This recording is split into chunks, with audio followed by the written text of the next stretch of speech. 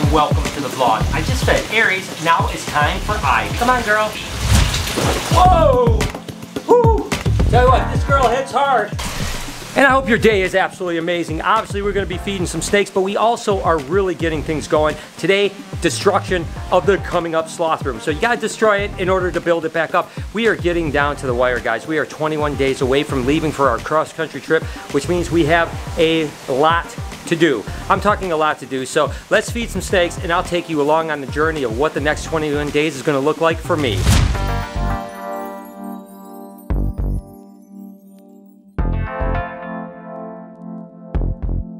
Bonita, wakey wakey, eggs and bakey. Come on, girl. Whoa, nope, you missed, baby girl. Here we go.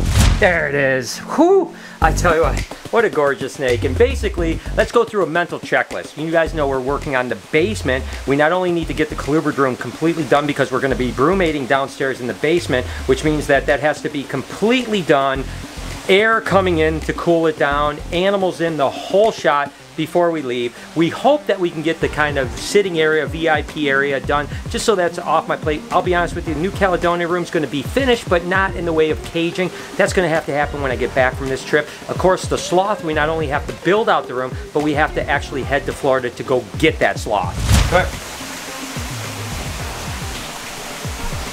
Okay, there you go.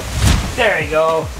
Whew, I tell you, that ball training is coming really well. And again, with that 21 days before we're supposed to be leaving on this cross-country trip, which is kind of already planned out, so I think we're definitely gonna have to do this, you gotta keep in mind that we've gotta go get Drogo the sloth. Now the owner is, I mean, she loves this sloth. And one of the things that she was very emphatical about was the fact that we would drive him back, not fly him. And to be honest with you, I feel more comfortable with that too. It's gonna be weird driving cross country with a sloth in the back, but at the same time, then we can keep an eye on him, make sure he's not stressed out, get him back over here, all that stuff. So that means that's an 18 hour drive one way and then back. So pretty much four days of that 21 days is going to be spent traveling to go get Drogo, putting us down to 17 days including this one, by the way. So really 16 days as of tomorrow.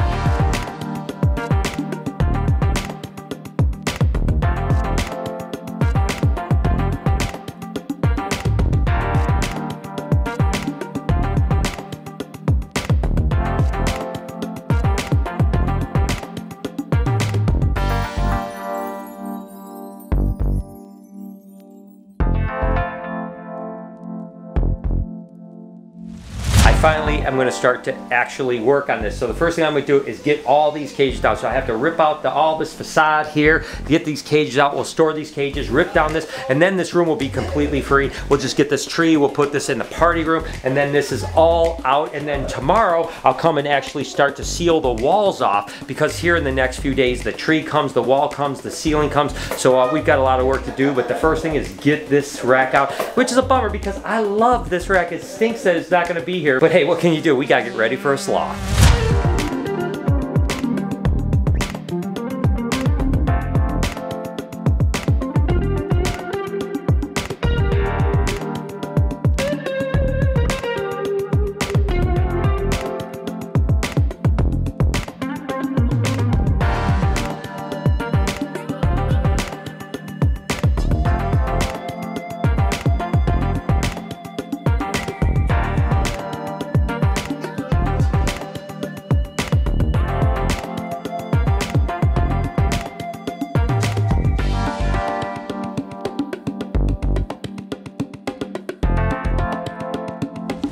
You ready to eat, buddy? Come on. Let's go. Let's go. Whoa, there you are, buddy. Tell it, what an awesome snake. This thing is just absolutely gorgeous. And basically, just to give you the timeline, what we're waiting on with the sloth room as we're getting done kind of wrapping up the cleanup phase is that we need the tree, we need the rocks, and we need the ceiling to be done right. So Stuart down at Universal Rock already has the tree done and the walls done. They're getting shipped right now as we speak. So they'll be here in about four days or so. We're about eight or nine days away from getting the ceiling. The ceiling has to go in because that's where the lights are gonna go in, the humidifier is gonna go in, and plus we don't want Drogo to be able to get through the drop ceiling, so that's imperative. Not sure if I wanna install the wall and the trees before the ceiling or not. I really want to put the ceiling in, then the walls, but I might have to do it reverse if I run out of time. So in the next week and a half or so, while I'm kind of waiting for all the materials, I'm going to probably put all my energy into the basement so that I can get that colubrid room done, number one, because that's the most important thing. Then the VIP kind of green room, sitting room area, and then lastly in the New Caledonia room. So I've got my work cut out for me there, and then hopefully I'll somehow get a couple hours to do Matilda. I'm not 100% sure about that, but nevertheless, the timing is definitely going to get pretty sketchy here. Uh, I, I'm definitely feeling the pressure. Sunfire, here you go, bud. Here you go. There you go. Whew.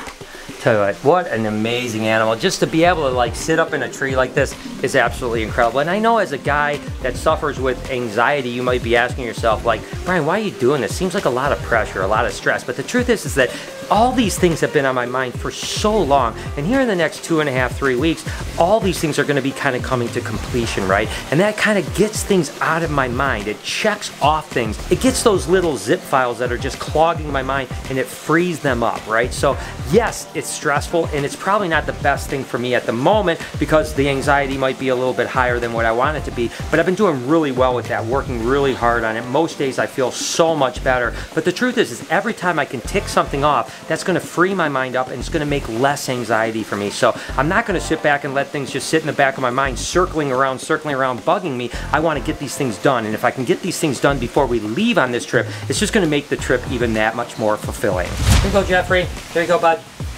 Oh!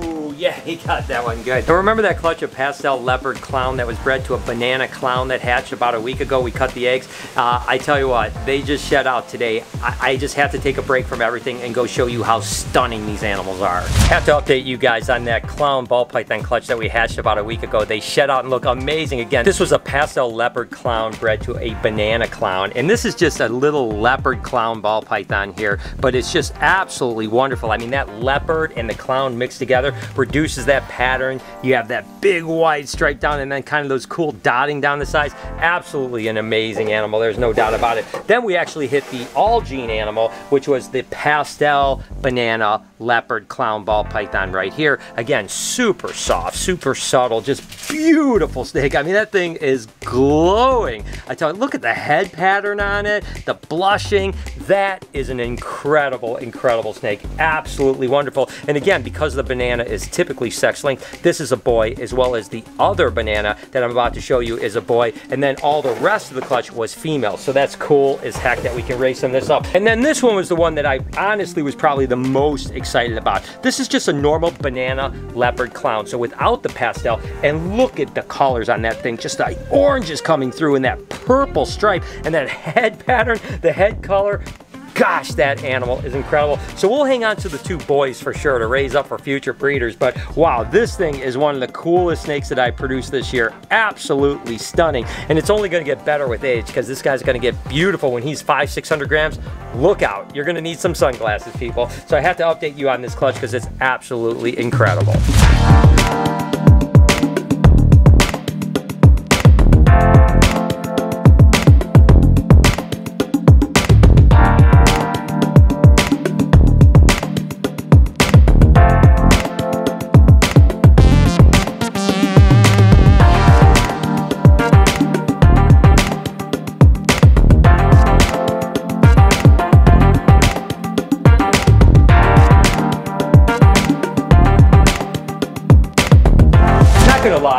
Little bit sad. I really love the idea of the snake massage room and we were only able to do it for a very short while before we had to shut it down and it's sad to be at this point and see it go away, but we've got all the facade out, we got the cages out. Now we just have to rip down the two by fours and, uh, and this place is cleaned up and I can start actually sealing it up and getting ready for Drogo.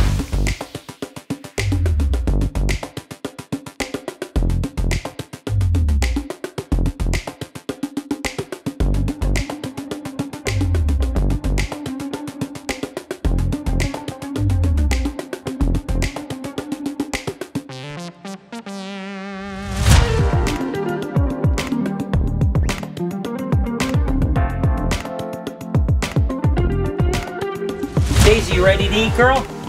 Come on. Come on. Come on. There you go, sweetheart. There it is. There.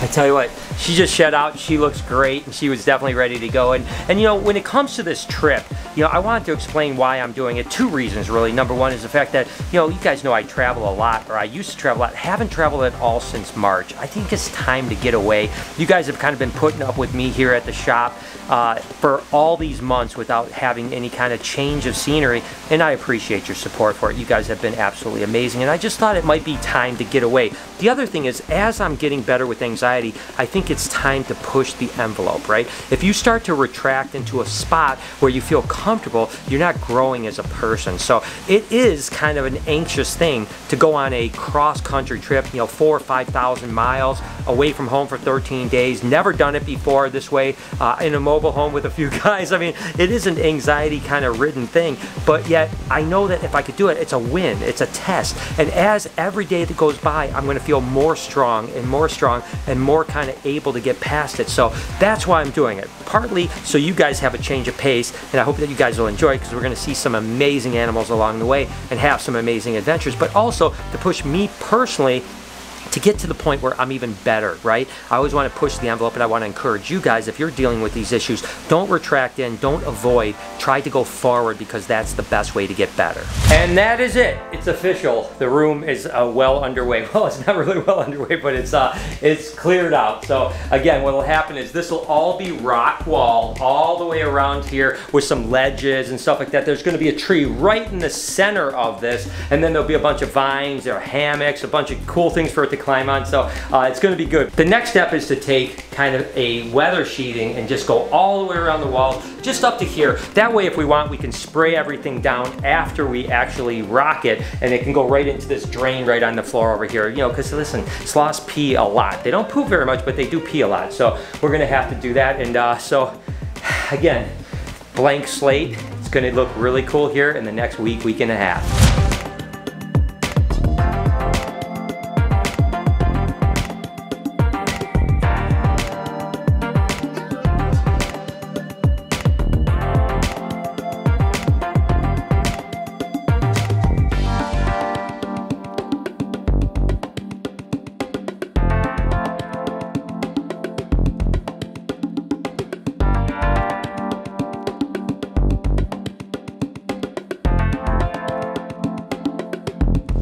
So needless to say, guys, the next three weeks is gonna be crazy. So buckle up, because it's gonna be wild. And send me as much positive energy as you can, but it's gonna be exciting, and I hope that you guys are gonna enjoy it. Speak of it, enjoyment, if you want right here, if you enjoyed this feeding video, you can do an entire playlist of feeding right over here. Up on this side, you can subscribe to my podcast channel. I sure do appreciate that. I hope that you're subscribed to this vlog channel right over here. Turn your post notifications on. Have an absolutely wonderful day. Remember, be kind to someone, and I promise I'll see you tomorrow.